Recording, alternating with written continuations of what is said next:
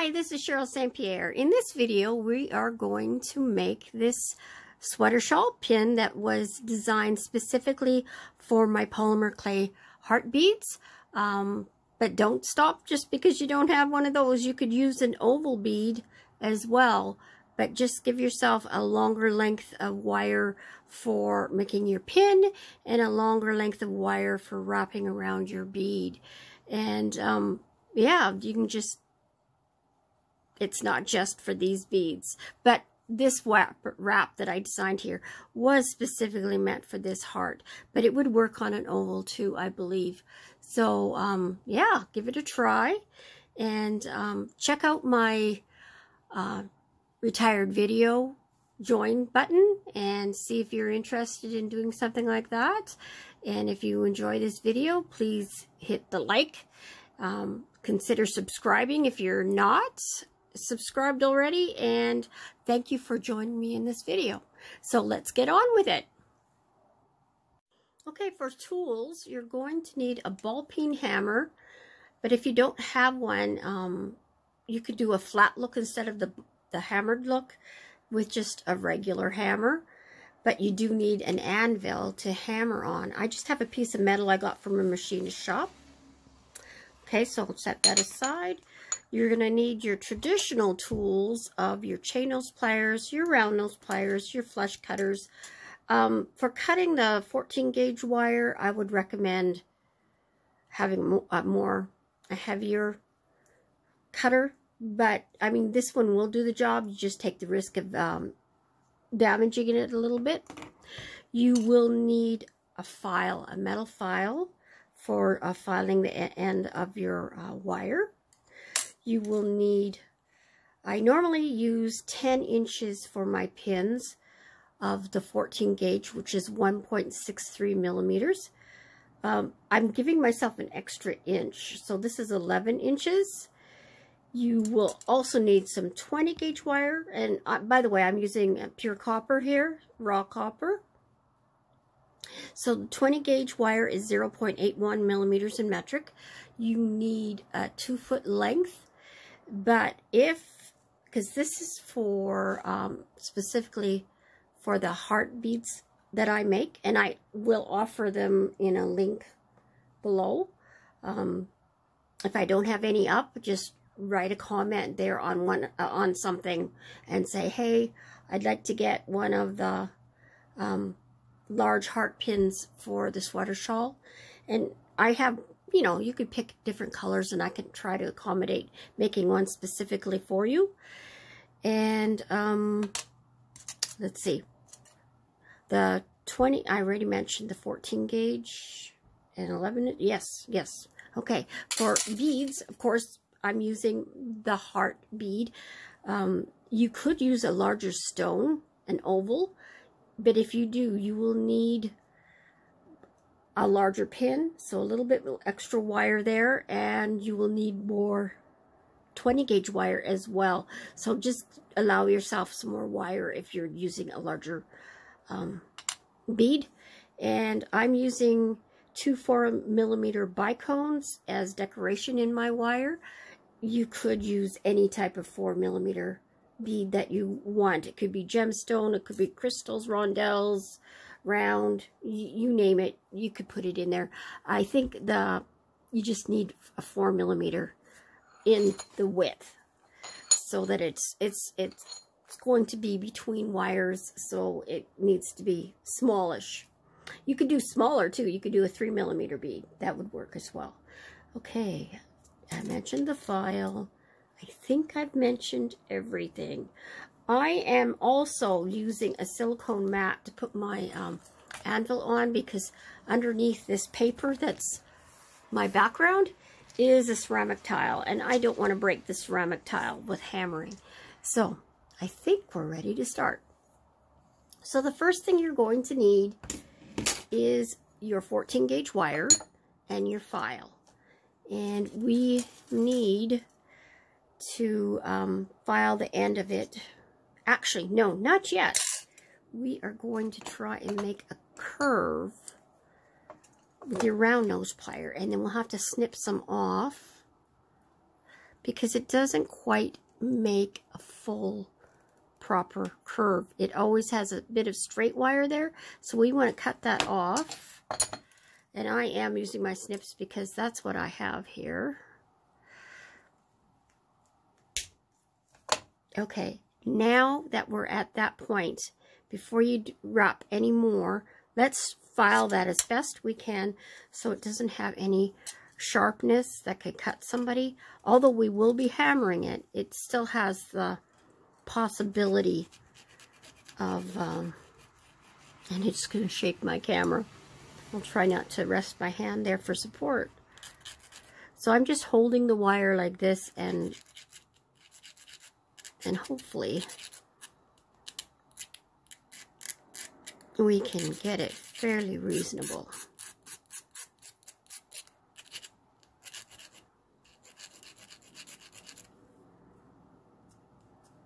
There's still some right inside.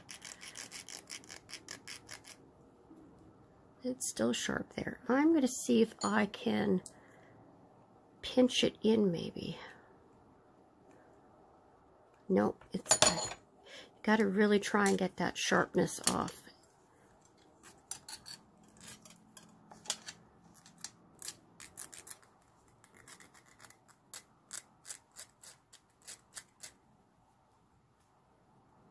There, I think I succeeded. Okay, so I'm going to continue making my coil now.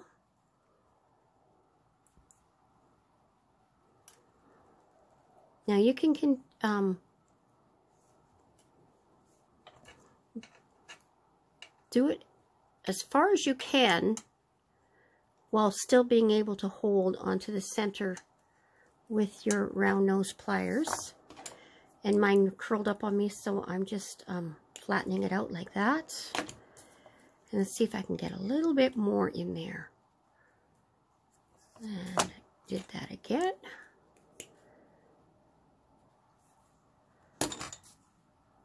And I think that's good. We just need enough just to be able to put the pin in there later on.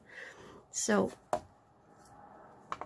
now what we need to do is we're going to round this out and we need to make enough room because the heart's going to sit on it like this and then the pin's going to be up here. Whoop, up here. I'm out of camera. Um, sorry. The heart is going to sit like this but we're going to round it out to hold it because we need to make room for it because the wire's going to go through so through around here. So we need that much room up above it. So we're going to make the pin accommodate. So um, and I am just this needs to sit like this and then we're going to arch it around like this we want it nicely rounded.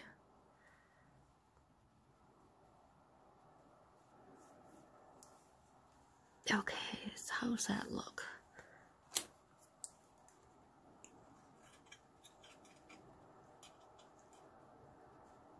I'm doing it upside down. It just felt awkward.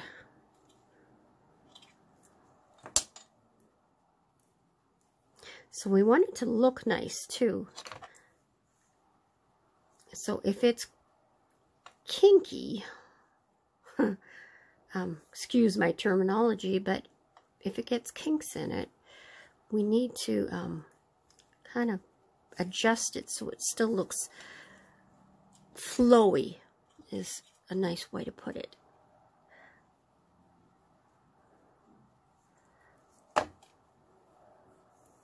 And I'm thinking that should accommodate the bead just not quite as flowy as, mind you, once we start hammering it, it's going to adjust it too. That should be, that should be enough. I'm going to put the pin on now. I mean the bead. Sorry, put the pin in the bead. And it's, these um, beads are a little bit on the grippy side, so I'm going to use the pliers to push it in.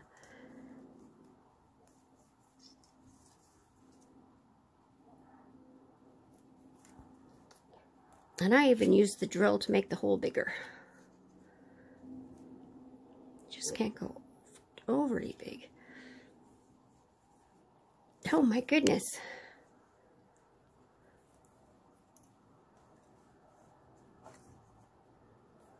I've had the wire in there many times. There we go. Just had to get it started. Oh, it actually pushed where I didn't want it to push. But that will be covered in the design. Okay, so I want it to sit like this. Oh, that's definitely enough. That's more than enough. That's probably too much. So it's good to put your bead on just to see where it's at. Okay, so we want it about like that. Okay. Yeah, that looks good. I might just arch it a bit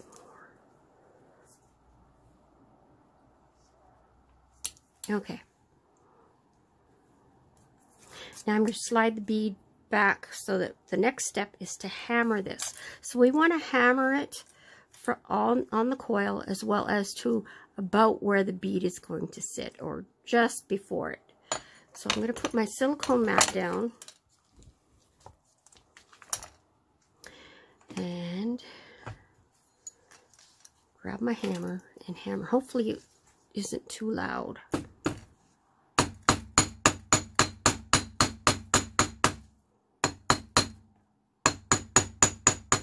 So I'm going to continue hammering off screen because it feels loud to me. Okay, so I've done the hammering and I've got it about here and that's about where the bead's going to sit. Right there. And then the next step, maybe even push it in a little bit further. Okay, the next step is to grab your 20 gauge wire and fold it in or bend it in half so it's got a big loop like this at the approximate middle. And that's just so that we can take this and wrap around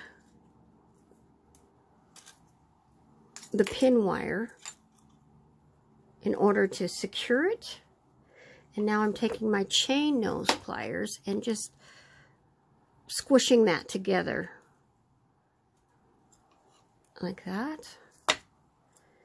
Okay, and now, um,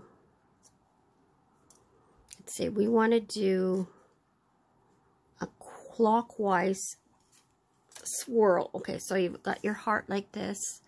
We're doing a little clockwise swirl. This can slide around, but I just want the heart out of the way. Okay. go completely around, but we're going to stop right here so it's facing up. And the inner wire, we're going to put our first bicone on. So this wire, and I'm just, I'm out of camera putting the bead on the end of the wire. Okay. And then we're going to continue with wrapping that around like that.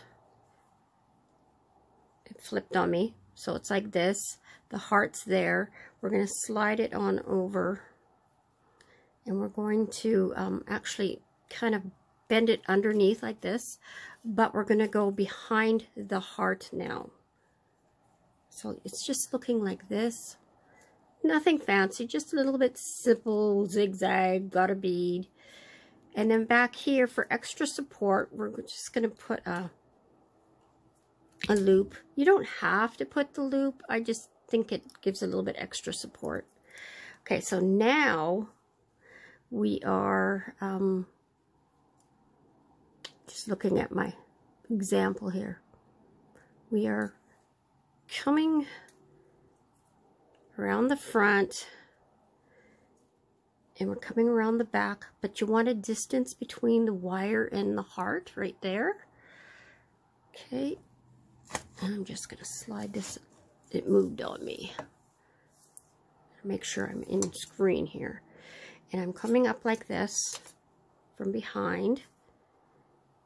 And now I'm going down like this. And we're going to make a, a nice, smooth spiral like this. But it's going to head into the heart. So I'm flipping it upside down. I just, you want it really nice and smooth. And you want it to go like that. And now we're going to put a bicone on this wire. And the bicone's going to sit about there.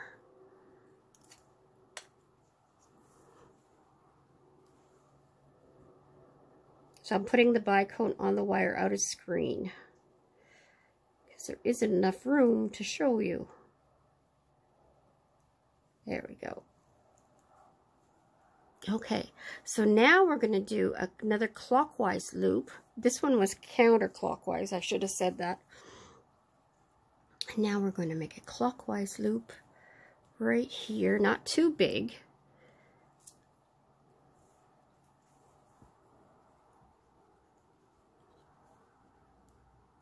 And if it splits apart like that, bonus.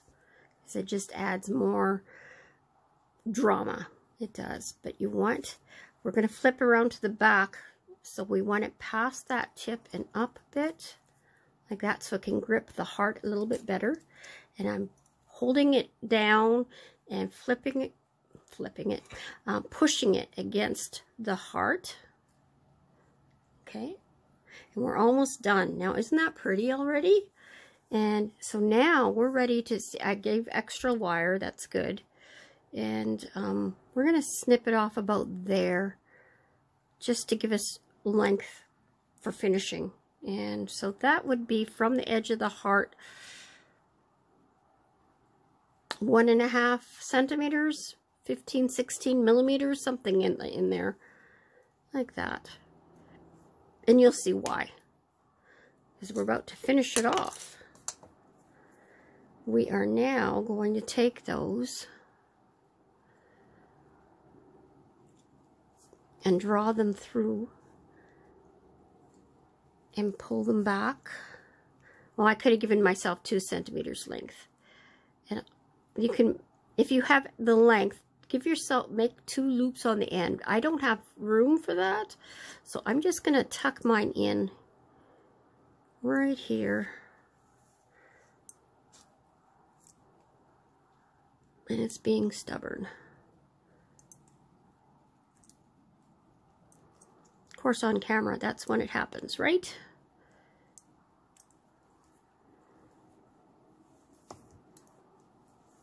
Make sure there's no pokes. I want to bend it more. Tucked right in. There, no pokes anywhere. Secured. And there, that part's done. The heart is on, and that's the look that we're aiming for. Okay, so the next thing is to make the rest of your pin. And so we want to do the coil right here. So we're going to do a nice, this is counterclockwise. This is the spring of the pin. See, I'm glad I gave 11 inches. 11 inches is a little tight, so I'm going to actually push this on over a little bit and curl this up and back a little bit. So you could give yourself 12 inches if you if you feel you need that. Just see, I've got enough with 11. I just made some adjustments and it's plenty big enough. I want to slide that heart just a little bit more. Okay, and now I'm just going to adjust this loop so it looks better.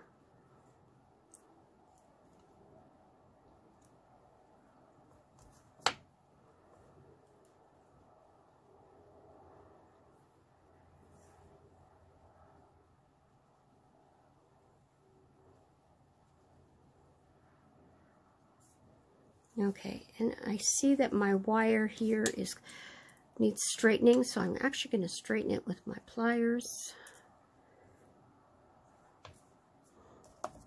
Not really happy with this shape here. I'm going to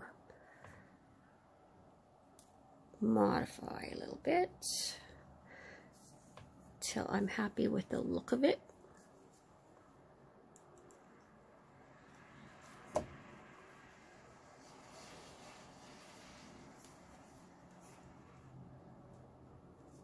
Okay, so that looks a bit better.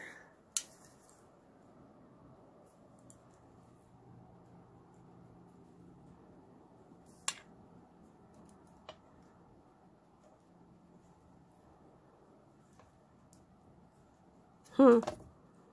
I just can't get it to where I like it.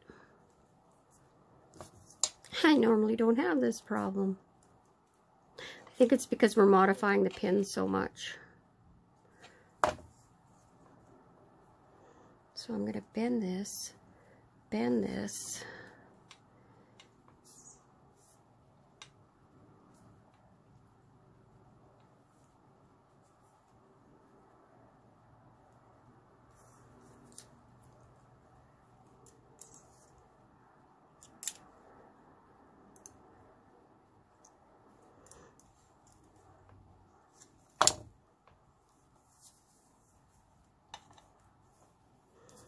and try straightening this again.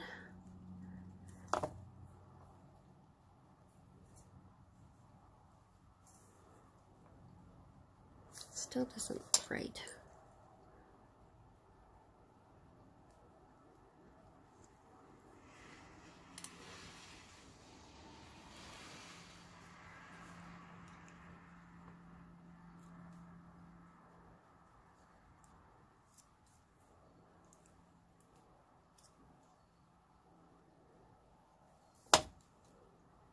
Get it there. there. I do recommend that you watch my other videos because it, honestly, this is not good.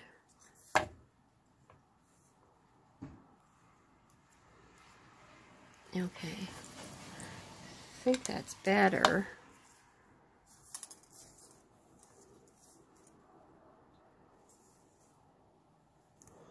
Now you want to smooth this out as best you can so it looks flowing again. That's the look I'm aiming for, is the flowingness.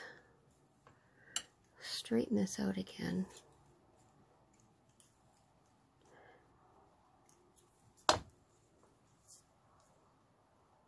Now I'm just flipping my picture from my old one. Okay, maybe that's it because I didn't have my picture the right way.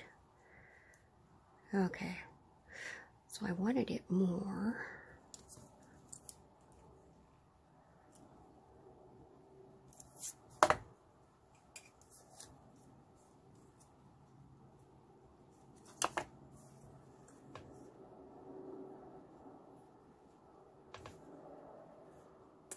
Yes, that looks better.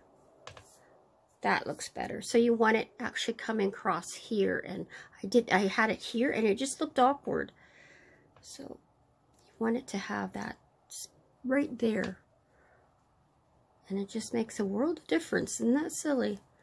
Okay, so now I'm going to, well, for one, this could be smaller.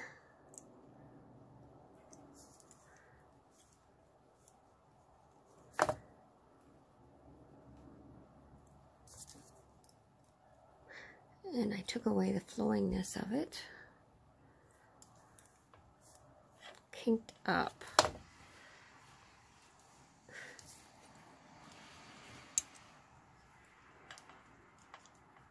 It's been at least six months since I've made one of these.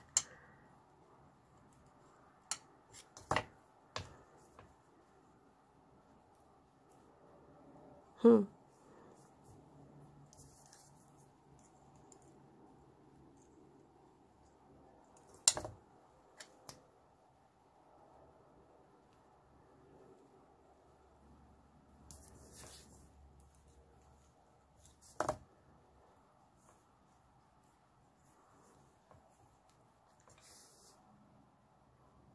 There. I think I'm happy with that. Okay, so the next step is to support this, open this up, and that's where you can test how the pin is going to sit. And it's going to sit like that. And that, I am happy with that shape. Much better. I just want this a little bit straighter. And it's okay to mar the wire a bit because we're going to be hammering it. I'm not hammering. I'm not um, trying to mar it, but it, it, you know, it's most likely will get marred. Okay, so then the next step, I need to open this up a little bit more so it sits right, okay, is uh, we need to snip off the end at an angle like this.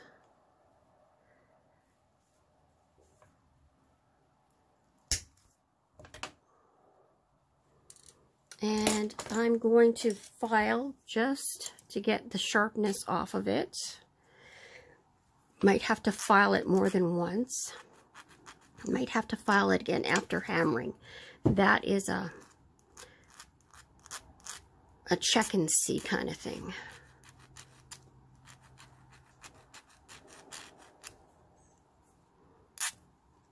Okay, you want it at an angle. Remember, this is a sweater shawl. It's meant to go in loose knit. It can, um, you, if you have a dressy, drapey um, scarf that you wear, it go on that. So it's not going to be sharp because it should be on a fairly loose uh, knit. Looks great on a cowl neck sweater too if, if you ever wear those in the wintertime. So the reason I came up with this design is when I did my other ones, I had um, multiple pe people asking me to make more. But, you know, every time I do it, it's I do end up with a different design. I mean, this one I've done multiple times so that I can teach you. Um, so I know it's doable to do this one wrap over and over again. But I encourage you to experiment. Make it your own. I like the way the flow goes on the heart. I really like how that turned out. Okay. Now we're going to do hammering again. And I dropped my silicone mat. Okay, so what we will do is, I'm just going to open this up a little bit. We're going to hammer from here to as far as we can get away with um, without, so basically there. I mean, you, you can get away with just going up to here, but I'm going to try hammering all the way up to here this time. But I am going to hammer off camera, so I will be back. Okay, so I've got a lot of the hammering done. I just wanted to say for the end, we want to flare it out. So you're going to hammer extra to widen this out. Okay, so I've got it flared pretty good. So the next step is to actually, uh, because it bends this way, we're just going to flatten it. Gently tapping it because we don't want to wreck the um, prettiness of this side. And if your wire was, um, you know, crooked like mine was, I just opened up my pin a little bit more and tapped this way. Because then it's, you know, straightens it somewhat that way. Now I'm going to move it up a little bit more. Okay, like that. And it looks good. I think it's done. All we have to do, I'm just going to move this out of the way and grab my file again. And I think I want to file it. And I'm actually going to go like this. Because it rounded out when I hammered it. And I want it to have an angled look. See if I can get that angled look.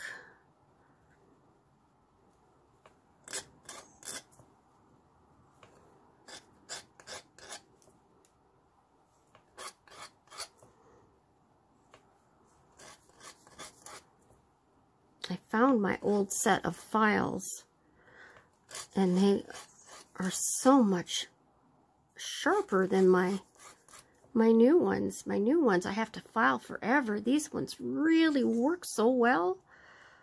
Wow. Okay. So that's done. And, um, oh, I do like how that turned out. Even though I had so many struggles. It's good for you to see that I have struggles too. I normally don't have that struggle, but I did this time. So, you just want it to have that flowy type of look. And uh, I like the way it sparkles there. Okay, well, thank you for joining me in this video. God bless. Uh, consider seeing my um, Facebook page where I am trying to sell my beads. Support me that way. Um, that would be greatly appreciated. And again, God bless again.